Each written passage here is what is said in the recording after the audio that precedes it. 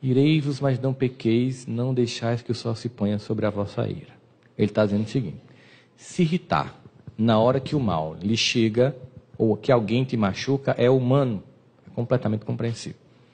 Manter o coração preso a isso é burrice. Por isso que eu conto a história da caixinha do vômito. Vocês já devem ter ouvido. Né? Todo mundo já ouviu a história da caixinha do vômito? Então vamos lá. Vocês nunca mais vão esquecer o que é mágoa. Espero que vocês consigam jantar depois dessa história. Assim, você tem uma prima que mora em Guarapari. Aquela cidade feia de prés horríveis. e você foi na casa da sua prima e ela lhe deu um pedaço. Ela lhe deu uma, uma, uma, uma caixinha cheia desse cuscuzinho que a gente comeu hoje aqui. Que ela faz com aquela receita da sua avó. Você trouxe, mas como você é espírita, você devolve, porque as pessoas não devolvem as caixinhas de plástico, nem de sorvete. Você dá e nunca mais vê. Mas como você é uma pessoa espírita, você vai devolver você pega a caixinha e, como você não quer dirigir, você pega um ônibus daqui para Guarapari. Do seu lado, senta uma pessoa que não tomou um café da manhã muito bom. Na rodoviária, ela pegou aquele ovo que estava azul e comeu. E, de repente, no meio do percurso, as reações né, começam a acontecer e o movimento peristáltico do estômago vai fazer um movimento contrário ao normal e de repente, por mais que ela tente evitar, mas com o movimento do ônibus, para quem já teve enxaqueca e vontade de vomitar, sabe que aquilo ali acalenta. E de repente ela em cima de você que está sentado ao lado. E a única coisa que você tem na mão é a caixinha da sua prima.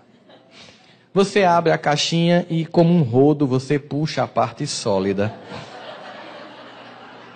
porque com relação à parte líquida não há muito o que ser feito. Vai secar em você junto ao ar-condicionado do ônibus, que vai reverberar aquele odor durante todo o resto do percurso. Você chega em Guarapari, conta a história para sua prima com muito ressentimento e diz: Olha só, e abre a caixinha e mostra para ela. Ela vai dizer: Óbvio, leve de volta para você. E você traz de volta, chega em casa, conta à sua família o que aconteceu e mostra a caixinha. Tá vomitada, você guardou. Aí no dia do evangelho, você, meu Deus, muito obrigado pela semana que passou, apesar daquela louca que vomitou, aí abre a caixinha e cheira. E deixa ela guardadinha, porque sempre que você tiver que lembrar da criatura, você abre a caixinha e cheira. Final de 2017, Réveillon na praia, aqui, Vitória vendo os fogos de artifício, naquela sua lista requentada de promessas de 2016, que não foram cumpridas em 2017, foram postergadas para 2018. Não é assim que a gente faz? Aí você, lembrando do seu ano, você lembra, teve aquela louca que vomitou em mim no ônibus para Guarapari. Abra a caixinha, cheira. Ela vomitou em você em janeiro, você está em dia 31 de dezembro. Como estará a caixinha? Pois é. Não é absurdo alguém fazer isso. Pois mágoa é isso. Exatamente isso. Vomitaram em você afetivamente há 10 anos atrás. Você botou numa caixinha e de vez em quando faz. Não é burrice? Ah, vamos combinar. A única palavra que define isso é burrice. Porque a pessoa nem lembra mais. Ela às vezes não está nem encarnada e está lá você cheirando a caixa. Aí o que é que Jesus vai dizer? Na hora que vomitam em você, é humano que você se irrite. Porque sobre isso você não pode fazer nada. Acontece. Ninguém pode fazer nada, é inevitável. Acontece.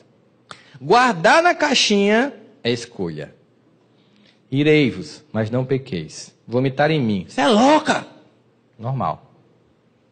Mas não deixais o sol se pôr sobre a vossa ira. Não guarde a caixinha. Isso é escolha. Essa é a questão do perdão. Perdão se dá quando eu escolho não manter o ressentimento vivo como se fosse o dia. Porque depois eu penso, poxa, mas ela não vomitou porque quis. Ela passou mal. Não deu tempo a chegar no corredor do ônibus. Eu estava lá. Talvez eu tivesse feito o mesmo. Aí você deu um novo sentido à cena e aí você consegue sair dessa mágoa, da depressão e da angústia por não aceitar o que aconteceu e passa a aceitar a vida como